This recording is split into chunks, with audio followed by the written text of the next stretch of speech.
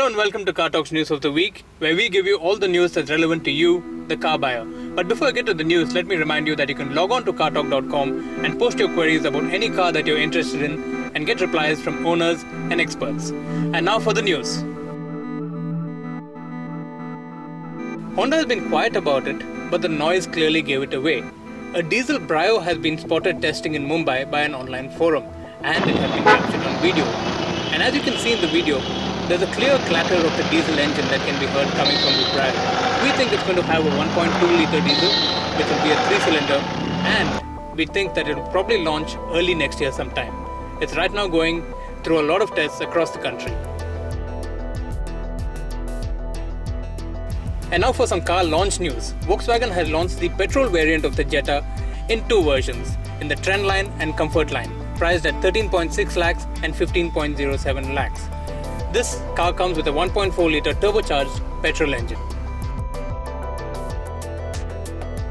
And as the excitement builds toward the launch of the Renault Duster, we've got some news that Tata may be thinking of taking on the Duster directly by cutting prices on the Safari. The Safari may start as low as 7.5 lakhs, which is about the price that we think the entry level Duster would be at.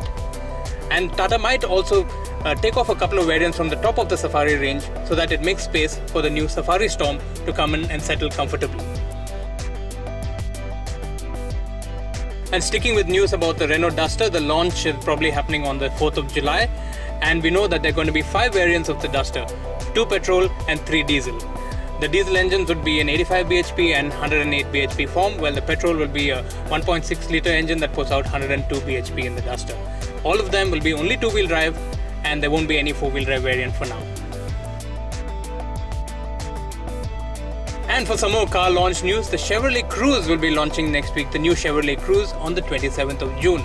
This car will come with an upgraded engine that puts out 163 bhp of power against the present 148 bhp. Well, that's it for this week. And if you want to post any kind of questions on any kind of car that you want, you want to find opinions of other owners or get the opinions of experts, log on to cartoq.com, post your queries, and we'll be happy to answer it for you.